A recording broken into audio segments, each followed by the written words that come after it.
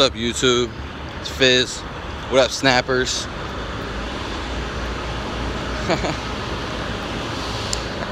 uh, subscribe to my channel. I'm gonna be writing soon. Soon to be writing a book called Life's a Ride. Sorry for all the loud noise. Um, yeah, check out my other channel. Well, check out my channel for other videos. Again, sorry for the noise. Oh, well, I wanted to talk about in this video why I would never get a dog in my personal possession. Um,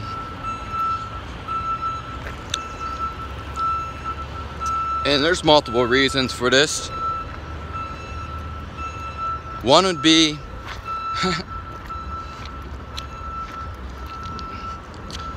because I feel like that's slavery against the dog. Especially, I know a lot of people that don't even. we'll back that up real quick. A lot of people go to work. What's going on? A lot of people go to work and they just leave their dog at home for the most part. Some some give it to a dog care,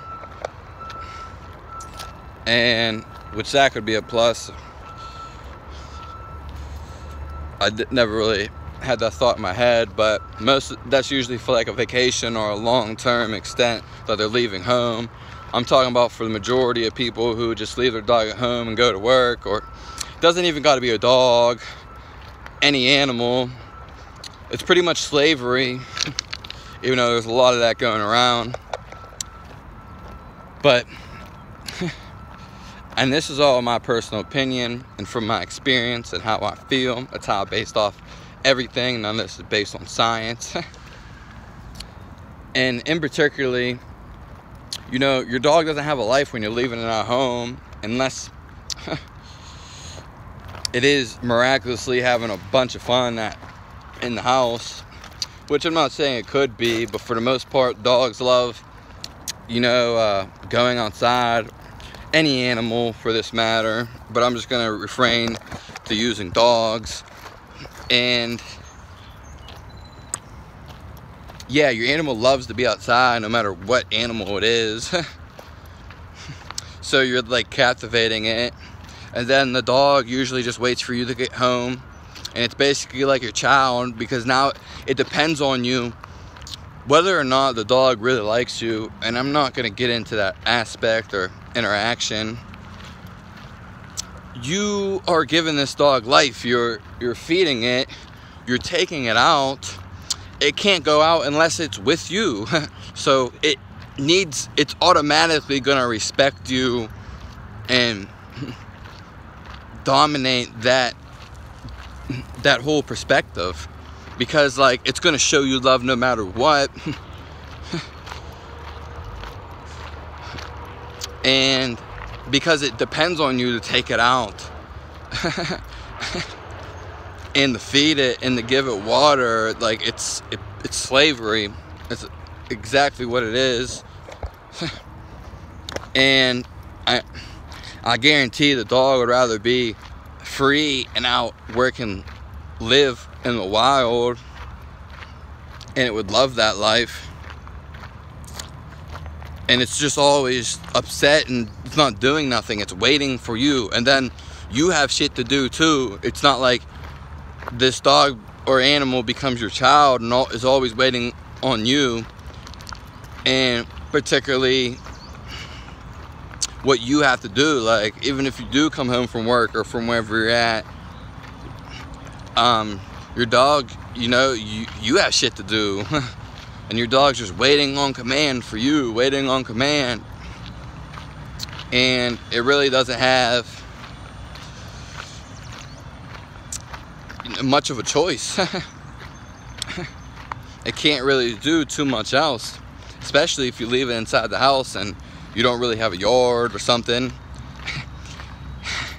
Anyways, most people who I see animals anyway, whether regardless of how much they love them, which I'm not going to tap into that because it's really none of my business. they don't even they don't even take the dog and give it exercise or work it out anyway taking on walks way not enough you know what i mean let alone i don't know how much they take care of themselves and how much exercise they give themselves i'm sure this dog wants to live a life or any animal like i said also um it just doesn't feel right, especially when I put a dog or animal on a leash and then walk it. I mean, Jesus. you know, like especially full grown dogs. like they're grown dogs. they're grown animals. Retrospectively, they can pretty much take care of themselves. on top of that, you're neutering, most people are neutering, you're fucking, I don't care who says what, okay? You're neutering the dog. You're taking out the vagina and the dick and balls or whatever you take out of the fucking dog. And how would you feel if you fucking lost your vagina and balls? That's your fucking key to life.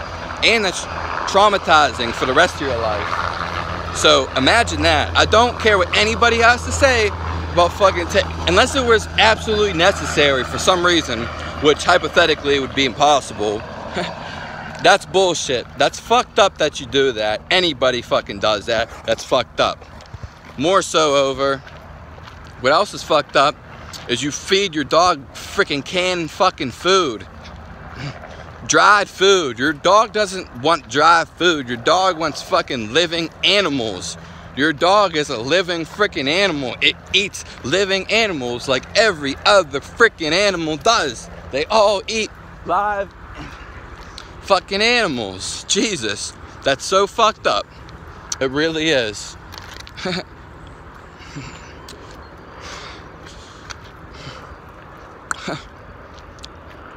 More so, where people don't, like I said, take the dog out and give it the freedom that it needs. And then the dog just depends on them like a child. A full grown dog depends on you like a child. It's fine for the dog to act like a child or anybody to act like a child, but it's different when you depend on someone. That's a little bizarre, okay? It's so messed up. This is why I would never freaking get an animal and then you're putting on leash. I just feel like this is slavery. And then I feel bad that you know, that the dog is just upset, depressed, and miserable, and can't be free and do what it wants when it's at its house. If you'd like me talk about any topic, let me know. I take a video request or anything more, let me know. This is Fizz. What up, snappers? I'm going to be tuning out. Check out some of my other videos on myths, conspiracies, health, and fitness. Links in the description below to find out more. Contact me. Like I said, I take video requests. And um, comment below and tell me your tall tale and let me know how you feel about the situation. Because what's going on? Life's based on experience and feeling. And that's what I base everything off of. So stay tuned. And I thank you for welcoming and love to everybody and peace and for tuning in. I appreciate it. Give me a thumbs up if you're gonna let your dog run loose.